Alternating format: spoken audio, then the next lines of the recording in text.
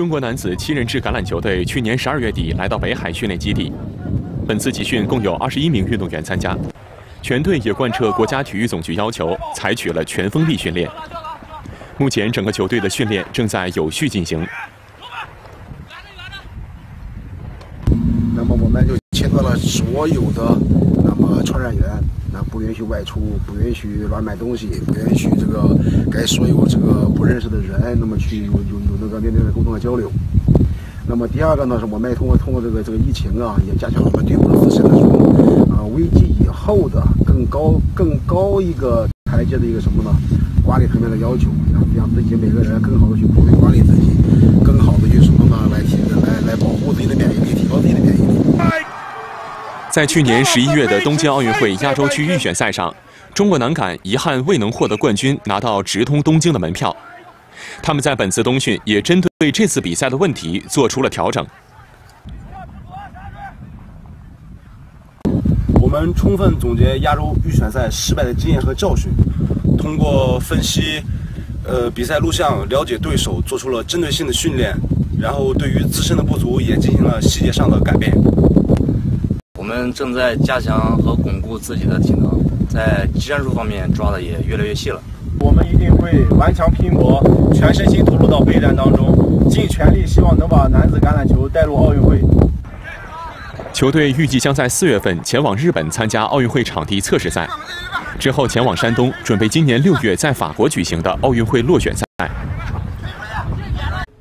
本届全国冠军赛是今年中国橄榄球协会举办的第一个全国性赛事，参赛的规模也比往年更加扩大，共有男女二十四支队伍参加，其中十九支专业组队伍，另外五支是来自学校和俱乐部的队伍。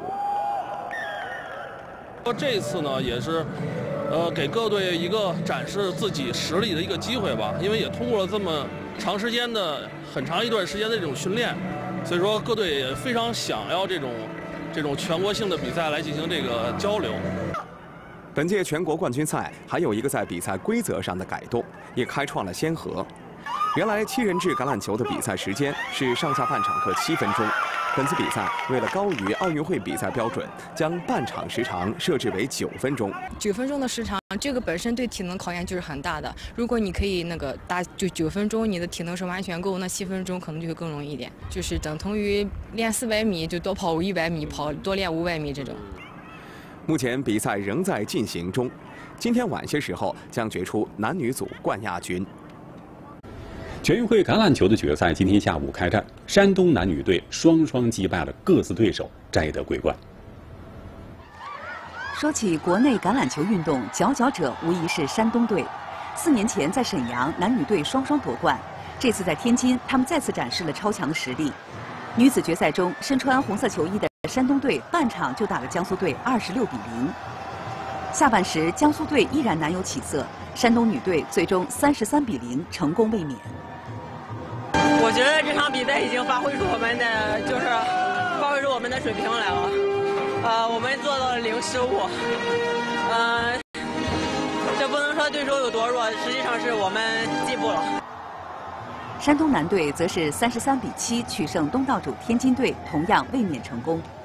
我们可能来的是十二个人，但家里还有好多兄弟们在陪着我们一块儿，我们身上责任也很重大。呃，首先是一种感动。